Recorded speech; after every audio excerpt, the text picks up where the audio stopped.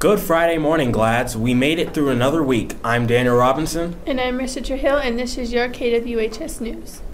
Thanks for tuning in. Before we jump into school announcements, let's hear from Miss Betsy for today's lunch menu. Happy Friday, everybody. I'm so excited. Today we're having Mandarin chicken. I know you all love it, so come on down and have some wonderful Mandarin chicken over rice.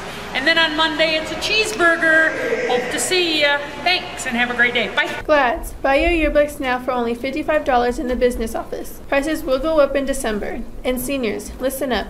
The deadline for baby ads and quotes for the yearbook must be submitted to Ms. Kennedy on October 13th or October 20th. October 20th is the last day you can bring those in if you want them in the yearbook. Don't delay. Get those photos and quotes in to the yearbook staff or room 104 as soon as possible. With October just around the corner, those deadlines are coming fast. Here's the lineup for upcoming college visits. Starting on Tuesday next week, October visits kick off with California Baptist University and Colorado Mesa will be here on the 4th. On October 10th, we have two schools scheduled. Fort Hays State University will be here during advisory and Paul Mitchell, the school, will be here at lunch. Hastings College is scheduled to visit on October 12th and CSU Pueblo comes in on October 17th. Pikes Peak Community College will visit on Wednesday, October 18th, and rounding out October will be CU Denver on October 31st. November visits start with Luther College on Thursday, November 2nd, while Adams State plans to be here on Thursday, November 16th. Remember to mark your calendars with these dates and remember to swing by the Counseling Center to pick up your pass to attend. Daniel, there's another really great opportunity to check out colleges at the College Fair at Mesa Ridge. Juniors and seniors WHS will be taking 50 students to the college fair at Mesa on October 25th. Most schools will be from in state, but there will be some out of state schools too. If you would like to attend, you have to sign up at the counseling office. The deadline to sign up is October 12th, and you must have a permission slip to attend. Return your permission slip to the counseling office no later than October 17th. Hey, Glads, we're having a Spirit Week next week because we're getting ready to play the Purple School on Friday. We didn't want you to miss out, so here are your dress up days. Monday is Mathletes versus Athletes Day. Tuesday is Dress to Impress Day. Wednesday is Heroes versus Villains Day. Thursday is Jersey Day. And Friday is Blue Out Day. Go Glads! Beat Mesa! Now here's Kieran Doolittle with our Gladiator Sports Update.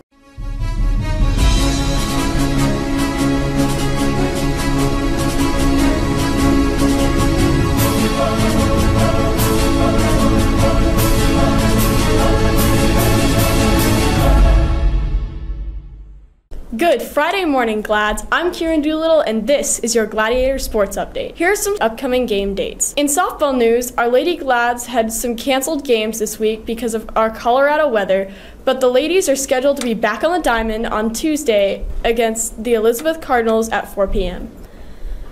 Likewise, the boys tennis team had to cancel matches this week for wet weather, but the team is prepping for regional matches on Thursday next week at Cheyenne Mountain High School. In soccer news, they will be hitting the field once more this weekend on Saturday morning against Pueblo East right here at home at 10 a.m. The weather should cooperate. In volleyball news, mark your calendars for the Lady Glads Dig Pink game coming this Tuesday, October 3rd. The game is against Mesa Ridge, and the Lady Glads would like to remind everyone to wear pink to the game to raise awareness and support for breast cancer research. Go Glads! Beat Mesa! The cross country team had a meet scheduled for Thursday afternoon in Cañon City at the Royal Gorge Bridge and Park, but it was canceled for weather. The team has another meet this Saturday at Cottonwood Creek Park in the Rampart Invite. Our Gladiator football team is on the road tonight to take the Chatfield Chargers at 7 p.m. The Glads are dominating the field. Can they make it a 5 0?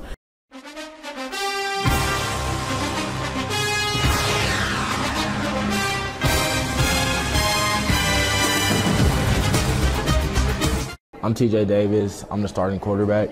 I'm Sam Reed. I'm the starting defensive end, starting left tackle on offense. Good things we've been seeing as a team. Overall, we've been coming together more as a unit, building a brotherhood, stand together, performing. No, like when adversity comes, we all just stay together. Uh, the game plan against Chatfield is to execute and um, limit our mistakes and come at them 100% let them know that we're there to play ball. I can honestly speak for offense. We're really the no huddle. The no huddle's working. We get defensive towel, wear, wear them down, then we just do what we do, get the ball in open space. The line, tired of all defensive line out. then they just stop bringing it and just we just play. Defensively to blank an opponent, pretty much just gotta, like I said, execute, play physical football, make sure that you're hitting them every single play. Have 11 guys on the ball, make sure that they don't get any yards. Just play hard. How do we feel? We feel like we could we could honestly beat anyone when we play as a team, but it all starts with everybody. Everybody got to be on the same page. Like Coach say, all in as the motto. We all got to be in at one to do what we want to do. It's not good enough. 50 points, 40 points ain't high enough.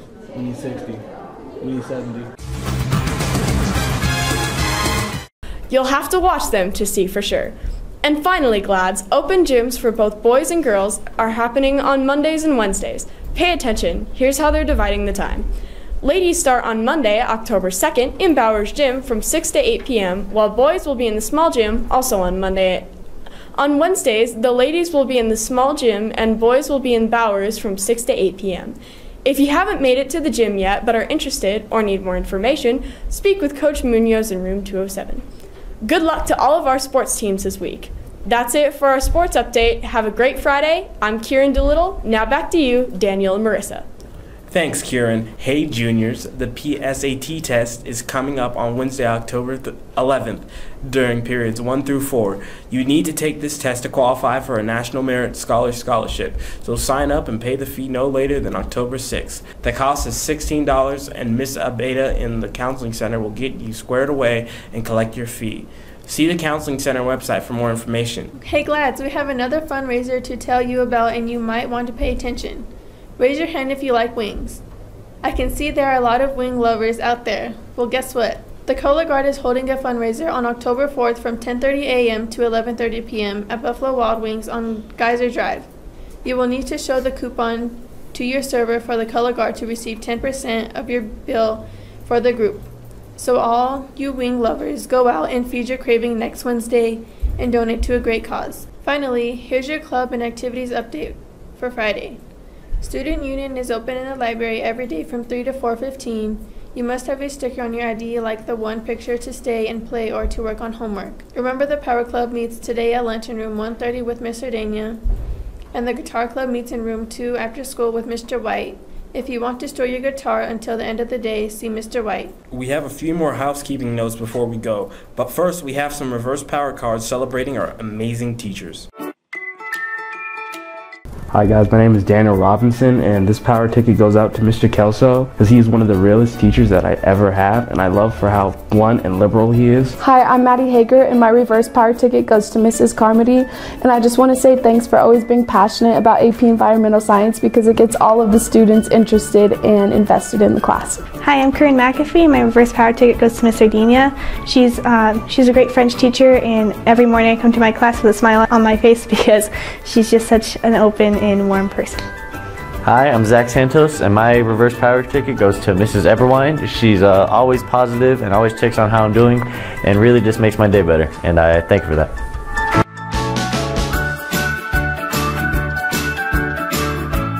If you would like to recognize one of your teachers with a reverse power card, you can pick up a card at the attendance office and drop it in the bin. We do the rest. One more thing, picture retakes are today in the small gym from 10 a.m. to noon. Finally, seniors, listen up. Your first class meeting will be on Thursday, October 5th during advisory. Be sure to attend this meeting because there will be important graduation information. If you cannot make it to this meeting, please see Miss Abeda in the counseling center after October 5th. Well, that's all for us today. Have a great Friday. I'm Danny Robinson. And I'm Mr. Hill, and this was your KWHS News. Have a great weekend.